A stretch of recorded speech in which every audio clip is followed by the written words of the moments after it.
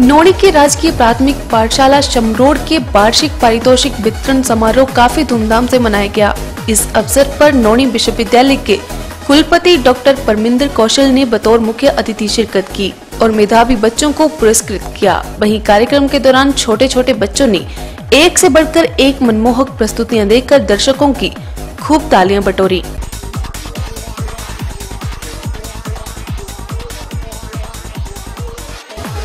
वहीं कार्यक्रम में आरंभ में स्कूल की मुख्य अध्यापिका ने स्कूल की वार्षिक रिपोर्ट को सबके सामने साझा किया। कार्यक्रम के अंत में मुख्य अतिथि द्वारा स्कूल के मेधावी छात्रों को पुरस्कृत किया गया। इस मौके पर school staff, school management committee, अभिभावक व अन्य कई गणमान्य व्यक्ति मौजूद रहे।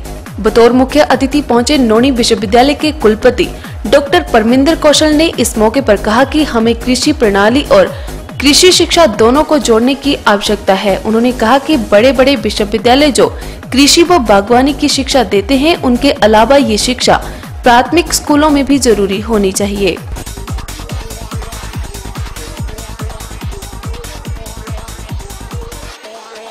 नेर चौक नगर परिषद में पिछले दो महीने के अंतराल में तीन पार्षदों के साथ मारपीट एवं जान से मारने की धमकियाँ मिलने की बढ़ती घटनाओं के संदर्भ में भारी रोष है और सभी ने एकजुटता दिखाते हुए निंदा प्रस्ताव और सुरक्षा व्यवस्था का ज्ञापन मंडी जिला के पुलिस अधीक्षक के कार्यालय में सौंपा गया और ऐसे मामलों की निष्पक्ष जाँच करवाने की मांग की गई सभी पार्षदों ने सामूहिक पत्र पर हस्ताक्षर करते हुए हवाला दिया कि वो अपने अपने निर्वाचन क्षेत्र में अनेकों जन समस्याओं और शिकायत निवारण हेतु फ़ील्ड में जाते रहते हैं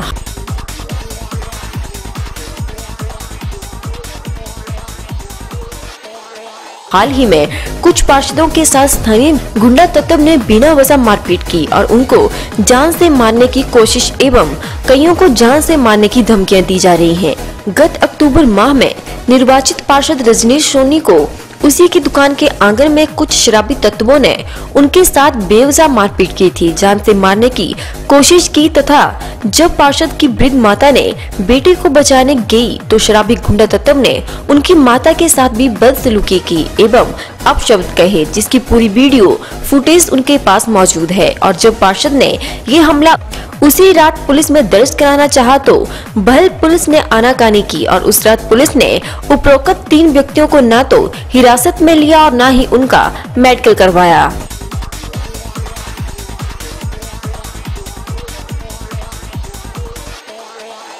हाल ही में 15 दिसंबर की सुबह नेर चौक बाढ़ की निर्वाचित महिला पार्षद के साथ स्थानीय व्यापारी ने महिला पार्षद के साथ बदसलूकी की। अपशब्द कहे और उनको भी जान से मारने की धमकी दे डाली। नेर चौक पार्षद अमृत कौर ने लिखित में अपना पक्ष पुलिस अधीक्षक के समक्ष रखा। इस बारे में नगर परिषद के जनरल हाउस के सदन ने पार्षदों में हो रहे हमले में कड़ा संख्यान लिया और सर्वसहमति से निंदा प्रस्ताव पारित किया, जिसकी प्रतिलिपि भी सौंपी गई।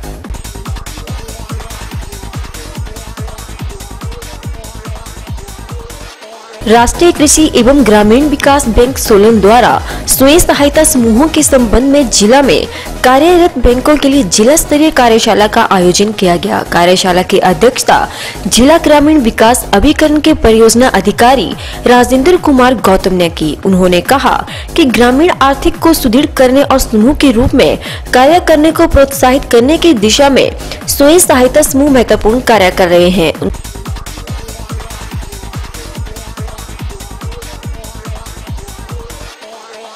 उन्होंने विभिन्न बैंकों के प्रतिनिधियों से आग्रह किया कि सोलन जिला के सभी गाँवों में इस दिशा में ग्रामीणों को जागरूक करने के लिए जागरूकता शिविर आयोजित किए जाएँगे। इस कार्यशाला के माध्यम से स्वयं सहायता समूहों के बैंक व ऋण संयोजन के साथ साथ संयुक्त समूह व ई शक्ति के विषय में उपस्थित प्रतिनिधियों को जागरूक किया गया।